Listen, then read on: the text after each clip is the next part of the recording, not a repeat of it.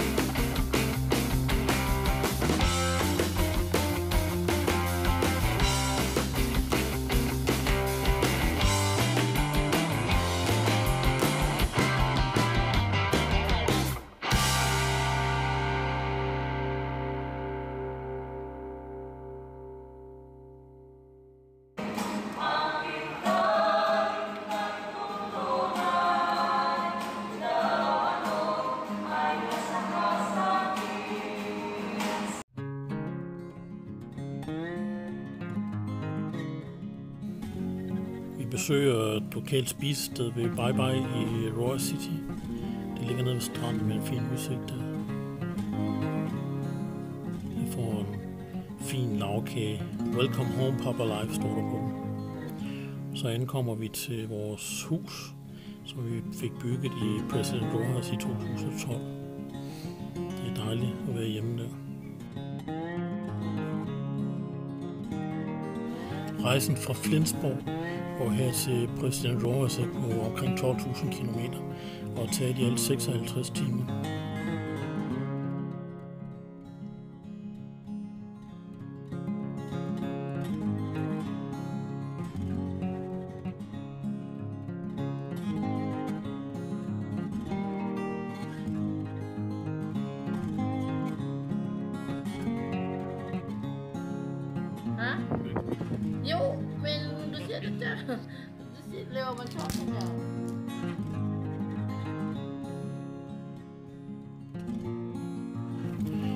Svigermor Christita har en lille butik, hvor hun sælger slik og sodavand og cigaretter.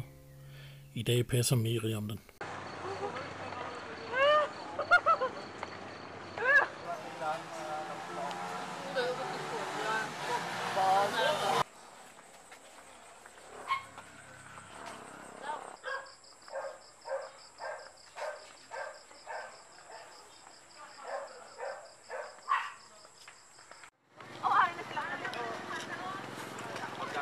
Vi vil på tur, så vi har hyret en jeepney for en dag. Så kan vi komme til stranden hele familien. Dari mo kami gapon sa likod ah. Oh, dari mo kami gapon sa Hej likod. Rambo! Hanineng, diretso dito mo kami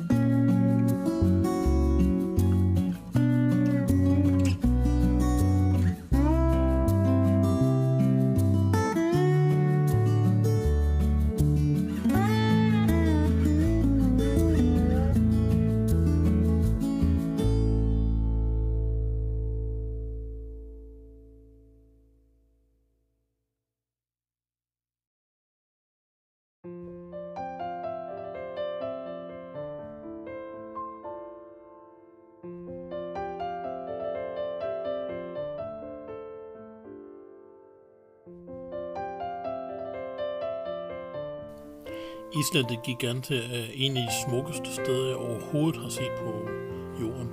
Jeg har været mange steder.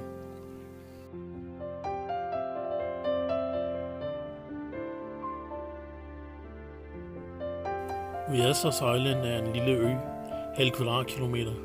En palme, en lille hytte, en masse hvidt koralsand og forfærdeligt varmt. Ligesom min vidighedstegning. Vi kører tricycle med Miriam uh, Emily.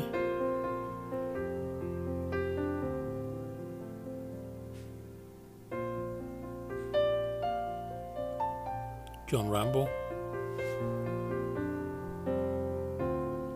mig og Elin. Det er Efren, der kører.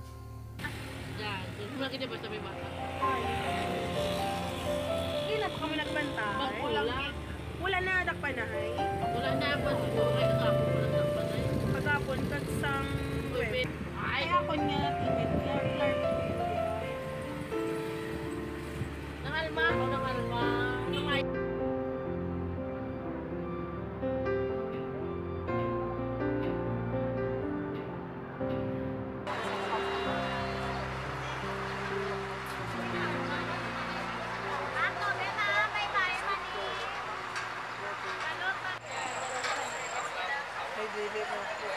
targeted.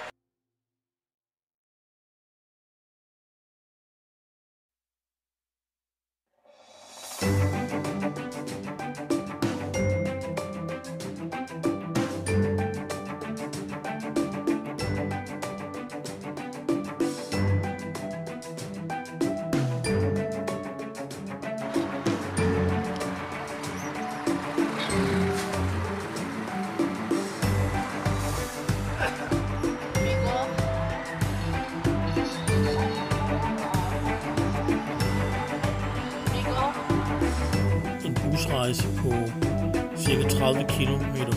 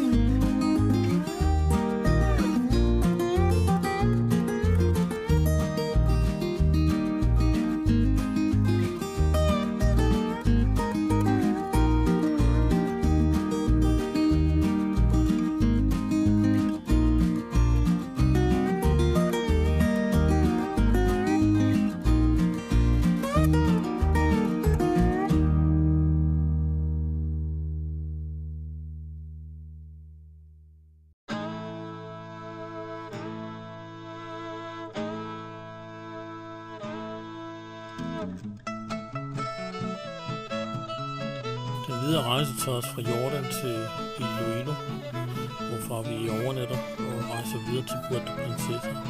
Så skal vi videre til El Nido. Vi tager lige et stop ved The Underground River i Puerto Princesa.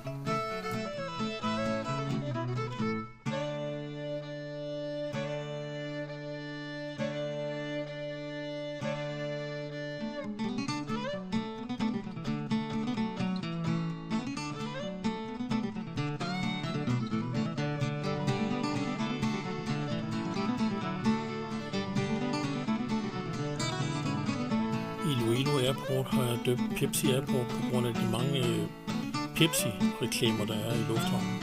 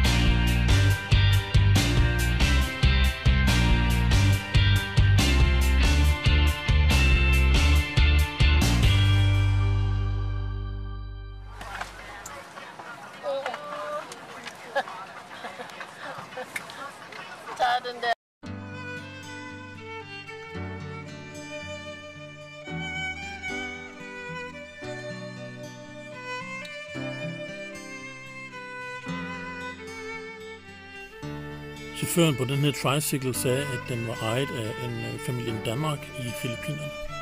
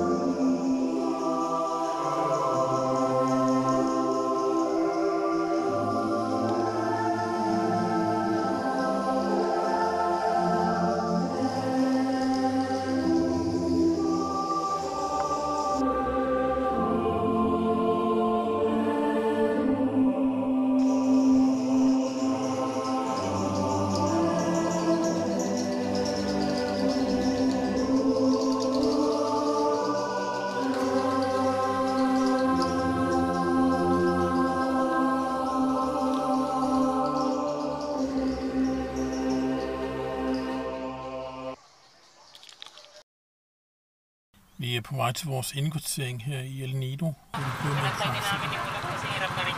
vi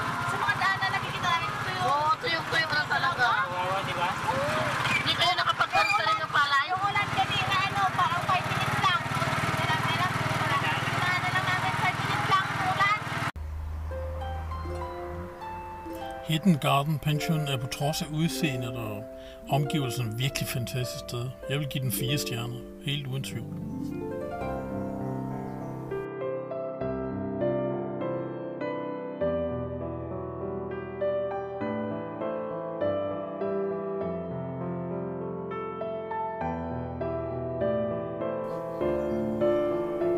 Trods af El Nidos ufremkommelige beliggenhed er her ret mange turister.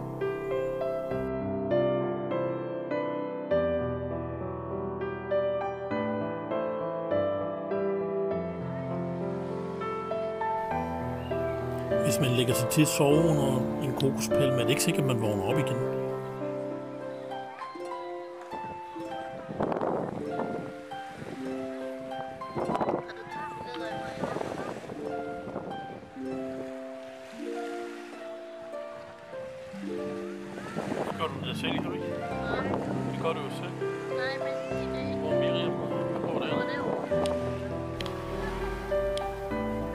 Her sydlige breddegrader, der går solen ned kl. 6.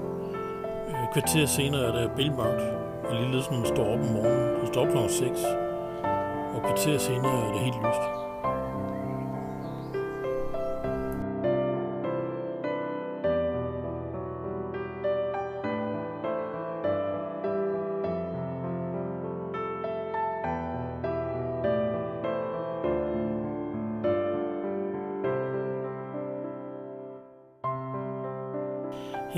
Lido købte vi to guidede ture, hvor vi så forskellige øer, laguner og historiske steder.